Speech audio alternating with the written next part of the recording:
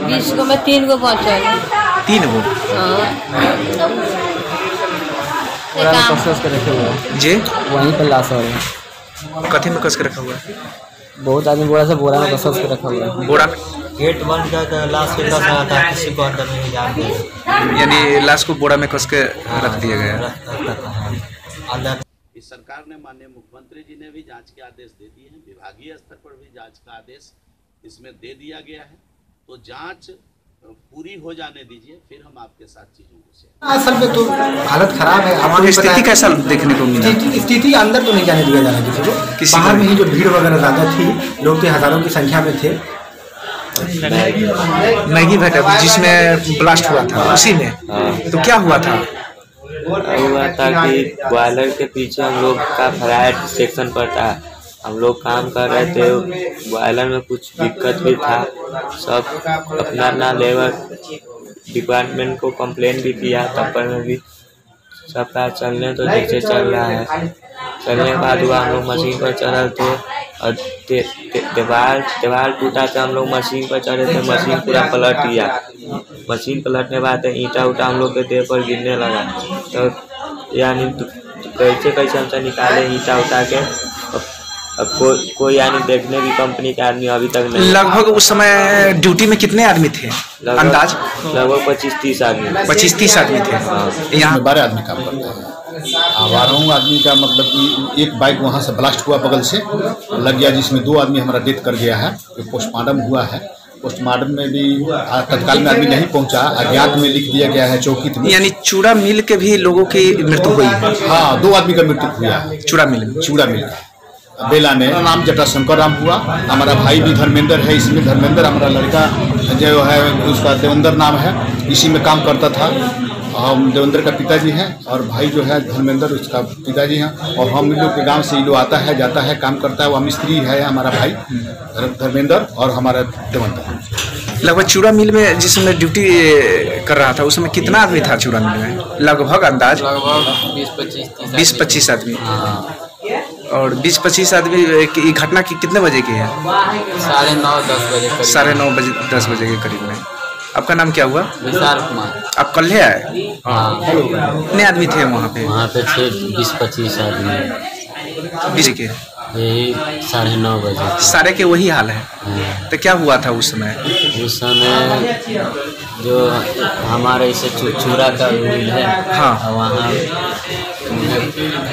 Tanker फटा वो gas वाले। हम्म, इसी को फटने से हमारे भी कंपनी का दो आदमी मर गया। हुआ था घटना क्या हुआ? तो देखिए हम लोग काम करते थे ना। मेरे प्रांत में से मोबाइल मोबाइल पाइप फट गया गैस वाला। तो इससे आवाज़ किया ना तो हम लोग को छोटे सब गिर पड़ा है प्लांट में का। चोट लगा है हम लोग को। तो इसीलिए को मालिक को बोला गया था कि आप ठीक करवाइए देखिए ताकि गर्म हो रहा है अभी से ठीक करवाइए उसको। तो बोला हाँ ठीक है। छः महीना से गर्म हो रहा था। बोला ठीक है करवाएँगे सुनता है करता नहीं था। तो एक एक बाइक हुआ आवाज़ चूड़ा मिल में मरने वाले की संख्या कितना था? दो आदमी मर गया हाँ, तो उस समय भाग गए भागे निकले वहाँ से। हाँ भागे हम लोग तो हम लोग चोट उट लगा है। लगभग कितना आदमी था चूड़ा मिल में?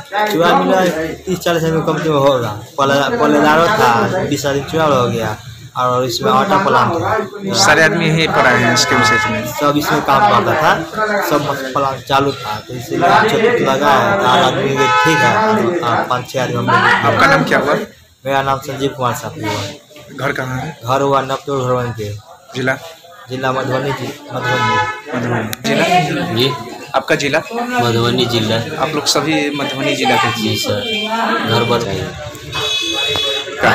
साढ़े नौ से दस बजे के करीब। बीच में घटना है। सारे काम पर थे? हाँ नई नई कंपनी में मैनेजर था न जीएम था न मालिक था खाली एक एक सुपरवाइजर था। उस समय मतलब सुपरवाइजर एक खाली खाली एक सुपरवाइजर था बस। बस। सुपरवाइजर भी भाग गया कि मर गया? भाग गया। सु, सुपर सुपरवाइजर था थोड़ा देर के लिए यानी हम लोग के हटाया सुपरवाइजर। बाहर रखा पर गाली गाड़ी होता है ऐसे नहीं बोला कि अस्पताल नहीं भेजवाया।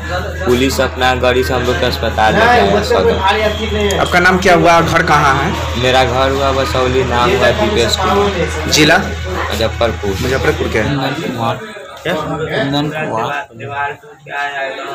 कहाँ घर हुआ आपका? मुशहरी बोला मुसहरी ब्लॉक। कि घटना कितने बजे की है? नौ बज के पैंतालीस मिनट। नौ बज के पैंतालीस मिनट का। कितने आदमी ड्यूटी कर रहे थे अंदाज? बीस। बीस पच्चीस। आप कौन कंपनी में काम मैगी करते कंपनी हैं जी? मैगी कंपनी जिस कंपनी में ब्लास्ट किया हुआ था? वही। उसी में। लग लगभग उस समय कितने आदमी था वहाँ पे? बीस आदमी बीस बीस आदमी के करीब वहाँ पर था। हाँ। तो है आपका नाम क्या हुआ? सत्यम जी जी। और जो विक्टिम्स हैं बेला ब्लास्ट बॉयलर के उनकी सेवा के लिए हम उनके लिए खाना पानी और जो भी हो सकता है उनकी सहायता करने के लिए यहाँ पे आ रहे हैं उनकी देखभाल में हैं हम यहाँ पे। और इसके एमसीएच प्रशासन को जिला प्रशासन को या सरकार को जिस वक्त भी हम हमारी ज़रूरत है हम खड़े हुए हैं इन लोगों के साथ। ये था कि हम लोग वहाँ बेला में गए थे। जी। तो बेला में लोग हताहत थे लोग परेशान थे ज़्यादा। तो वहाँ पे कुछ अंदाज़ा लग नहीं रहा था। तो हम लोग यहाँ पे आके देखते हैं कि वहाँ से जो मरीज़ यहाँ पे आ रहे हैं वो किस हालत में है खाना मिल रहा है कि नहीं पानी मिल रहा है कि नहीं।